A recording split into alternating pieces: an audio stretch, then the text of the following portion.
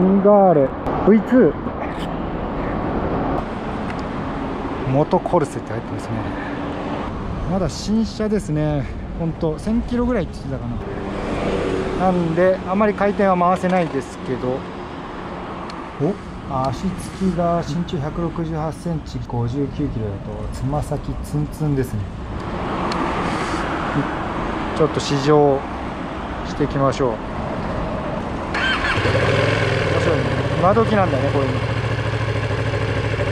えーとメーターを教えてもらったのが真ん中ウインカーの真ん中を長押しするとこれで上下でレースモードスポーツモードストリートとありますという話でまあ全部取っ払ったトラッコンとか多分そういうのが全部でパワーも一番最大に出る状態レスポンスもいい状態のレースモードでポチッとこうで普段何もしない時はトリップメーターとかのボタンなんですねこれ。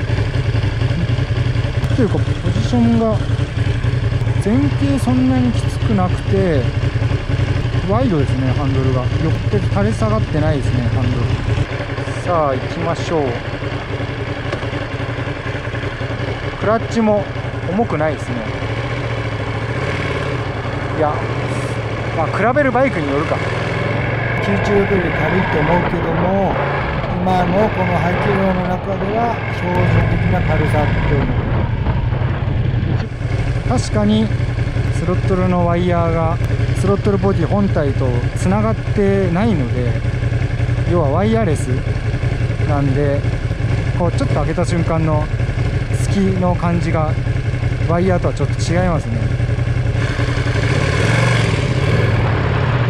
クラッチのつながりやすいタップ知識のクラッチのバックタップ916の時はやっぱり鑑識のクラッチだからやっぱり2段列に発進しにくいのがやっぱりこっちの方が街乗り楽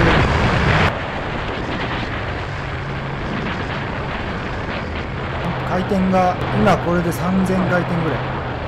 7000ぐらいまでは鳴らして回していいよって言われたんでまあちょっと加速してみましょう。おお。全然速い。アクセルがダイレクトで振動がなく加速していくなんせ916と比べてるんでまあ進化は当たり前なんだけどまあ2008年あたりのドゥカティも乗ったことありますけどそれに比べてもエンジンがスムーズそもそもポジションが全然違ってかなり街乗りしやすいポジションなんだけど916時代だともうちょっとシートが低くてさらにハンドルが低かった。かなり前傾になってたんだけどこのバイクだとハンドルの位置は高めそして広がってる。シートは高いんだけどもハンドルも高くてしかもハンドルが近いからそんなに前傾がきつくなくて前の方にこうコンパクトに座ってるんでその体の自由度が大きい気がしますねこれ。3000回転で十分4速でもついてくるんでバー。どこでもついてるね。やっぱりなんかコンピューターがもう本当は頭良くなってるというかストリートモードにしてみます。スロットルパッと開けるとワンテンポ触れますね。けど十分でしょ。ちょっとレースモードを戻しましょう。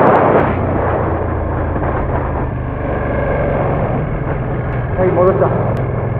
戻った。ギアを落とさないで4速でこのぐらいの回転で一気にアクセルを開けるとタイムラグもなく引っかかりもなく。でも加速は移りますねあっという間に加速しますね950度こんだけ走ってくれば追い越しも楽トルクっていうよりは意外と回転で加速してる感じ。今時だな本当。確かに街乗りだと左足のサスペンションのところが辺りからお尻にかけて熱いですね。そんな時はエンジンを切っちゃう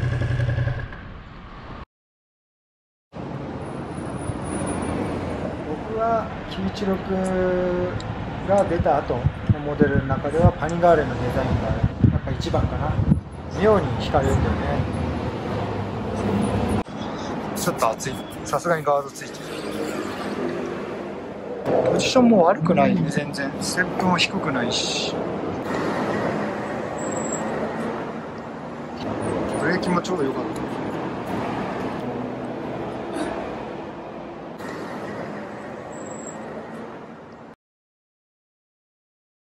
えー、ドゥカティ916ビポスト今日のパニガーレ V2 との比較。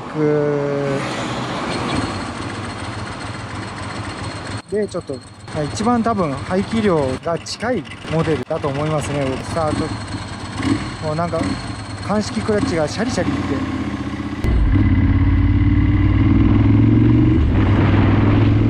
やっぱり916スロットルの突きはやっぱワイヤーなだけ。重いけど反応は速い。明らかにアニバーレ V2 の方は回転の上がる時が軽い。それに対して916はゴリゴリ言いながら振動も含めて回転上がる感じ。同じ V2 とは思えない。別物。もう25年の差だねやっぱ敏感すぎるねこの時代のは。多分あれから比べるとすごい敏感このちょっと上げた瞬間の感じがね。あやっぱり前傾きついやっぱりパイナーレ楽だった。